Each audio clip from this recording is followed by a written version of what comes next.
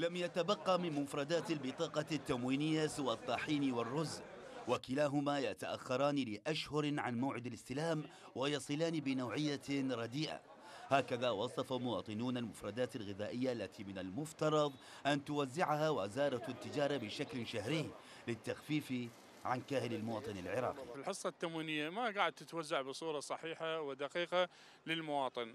يعني هناك تلاعب صراحة من جهات كثيرة حتى الوكيل يعني وماكو محاسبة يعني حتى المواطن عندما يريد يشتكي إلى جهة معينة في وزارة التجارة ما يلبون طلبه. بطاقة تموينية جتك فلوس جتك مدري شنو نفس نفس نفس القوانة. الدولة ماكو ما أحس أي شيء تغيير بالدولة. أي شيء ماكو يعني ماكو هسه أكثرية العالم عطالة بطالة قاعدة والناس شلون أقول لك الله يساعد الناس تريد تسوي تسوي وينفذون وعود البطاقة التموينية بالنسبة للمواطن لأنه المواطن آه، في حيرة وشك وكل شيء يعني بأمره. وزارة التجارة أكدت من جهتها العمل على تحسين مفردات البطاقة التموينية ومراقبة وكلائها المنتشرين على خريطة العراق مطلقة في الوقت ذاته. مشروع البطاقة الإلكترونية للحد من الفساد.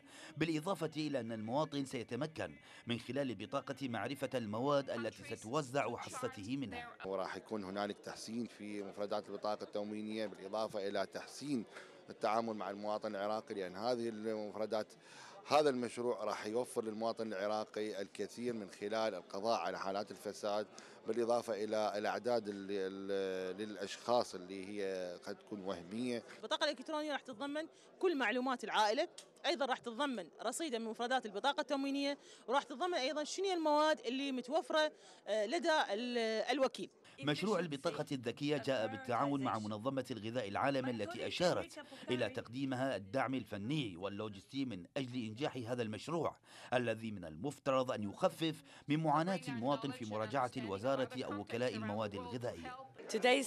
نحن نشهد اليوم تحول وزارة التجارة إلى النظام الإلكتروني إذ ندعم هذه الخطوة فنيا ولوجستيا ونقف إلى جانب الحكومة بذلك. البطاقة الإلكترونية ستسهل الكثير على المواطن في مرحلتي التسجيل والتحديث بدلا من المراجعات المستمرة. وزارة التجارة بيّنت أيضا أنها ستفتح منفذين لتوزيع البطاقة الذكية على المواطنين أحدهما في بغداد والآخر في دوك موفق مجيد الحرة بغداد.